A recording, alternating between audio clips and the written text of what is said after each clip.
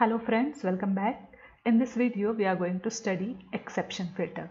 Again, basically, we are focusing on default implementation of exception filter that is handle error attribute. Once completing default implementation, we'll see how to create our own filters. Okay, so let us see the handle error attribute practically. As you can see here, I already created one application named as filter demo as well as I added a home controller and one index action method also. Okay. Now, as you can see the code here, okay, this code is wrong because what I did, I assign 100 value to the second index. Basically, my array size is what 2. So it will have only 0 and 1 index. There will be no second index. So purposely I made this mistake to raise an exception. Now what we will see, we will run this application and we will observe the default behavior when exception raised. So let us run this.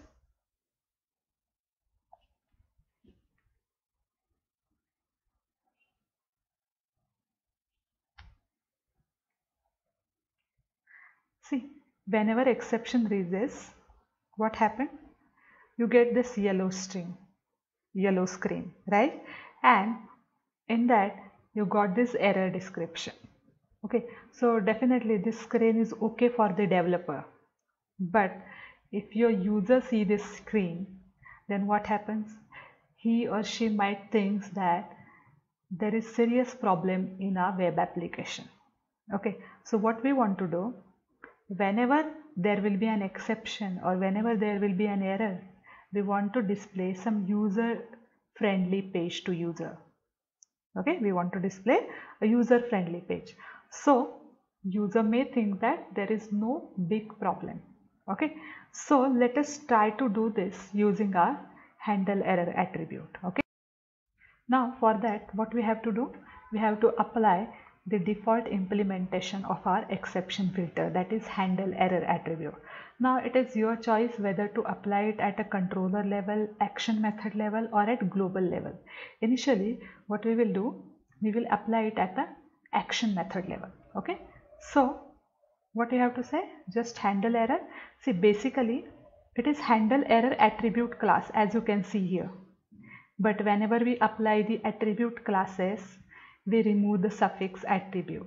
Now it has one property view where we have to space specify the web page that we want to display whenever there will be an error. So let us name our view as error and let us create this view also. Okay. Now we are going to create this view in our share folder. Okay, why in shared folder? Means suppose I am going to apply this handle error attribute to my entire application and I want to show this error page to my entire controllers and for entire action methods.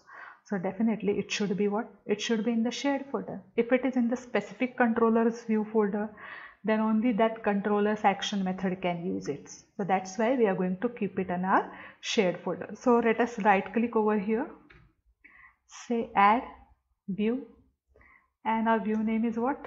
Error. Okay. Whatever name you will give here, the same name will be given. Okay? In display now say add. Now let us display a error message. Or you can design a error page also with the help of css so error. Please try again. Okay? Let us save this now what will i do? Again I'll run this application. Basically now we are going to run our application without debugging. When we say start debugging or when we just press F5 what happens? It will brings us in a debug mode. Okay I, I do not want to be in a debug mode. Okay so that's why I'll say start without debugging. So basically one point is still remain. So first of all we will run this see still you are getting that yellow page. Okay. So one more setting is remain. So let us do that setting. So for that you have to switch to your web.config file. And then after in your system.web tab you have to specify a custom error mode. You have to specify the custom errors mode. And we are going to set it to on. Actually there are three values of mode off on and remote only. By default it is off okay? What is the meaning of off? Always show that yellow page which contains all the error details which is helpful to developer definitely. When you set it to on it will always show you your custom error page.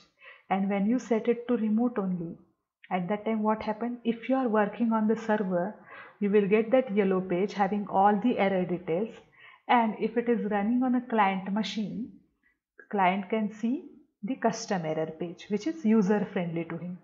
Now let us set to on. Here since I am working on a server machine I have to set it to on. If I set it to remote only I'll always get a yellow page only. So say on. Okay.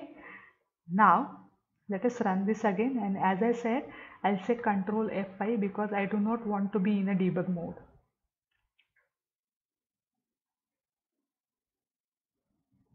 see look at here. Index page is not shown but what page which page is shown? Error page is shown. Okay? Now every time whenever there is an error in our application or whenever there is an error in this index action method this view get displayed because in our handle error attribute we specified which view to be displayed. Suppose you want to apply this handle error attribute to your entire controller action method. What you will do? Instead of applying this filter on action method, you will apply it on controller.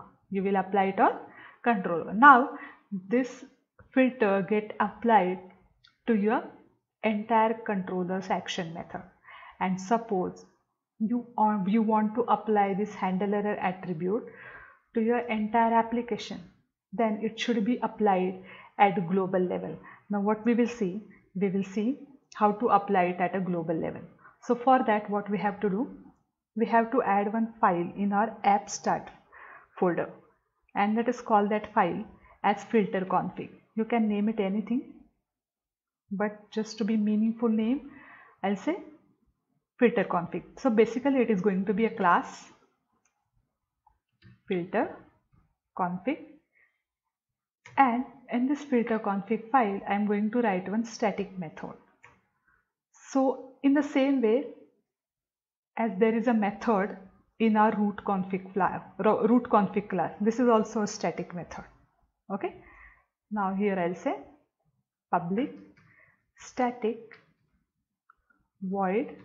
Let us call our method as register global filters okay? And to this method you have to pass global filter collection. So let me import the namespace first using system.web.mvc it is in mvc folder.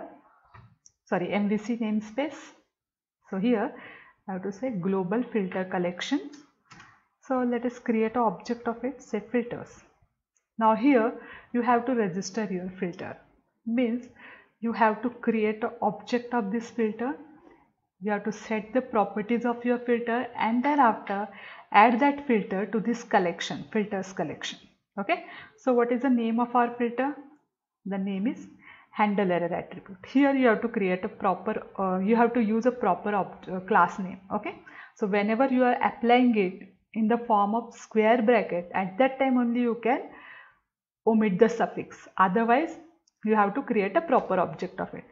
Say error is equal to new handle error attribute. Okay? Uh, let us name it error filter.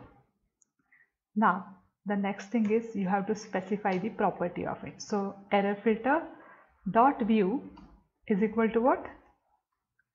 Which view we, we created? We created error view. Now what is the next step? You have to add this error filter to this filters collection. So say filters dot add this error filter. Okay. Now we created a filter config file. We created a handle error attribute filter. Now we have to call this method from our application start event so for that we have to switch to global.asax file. so as you can see here there is a call to our route config uh, register routes file re register routes main me method also. So similarly here I have to say filter config.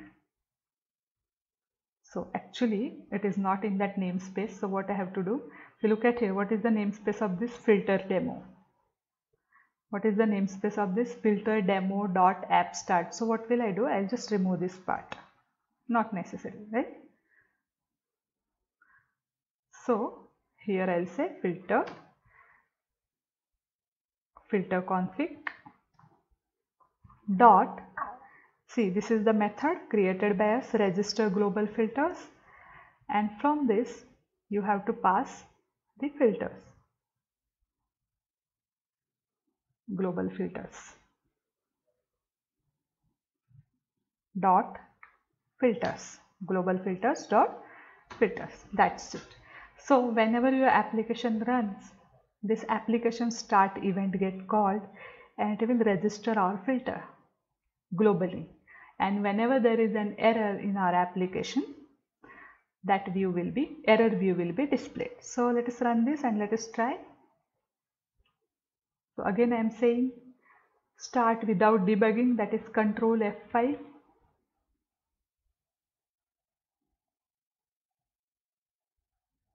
See this method also works.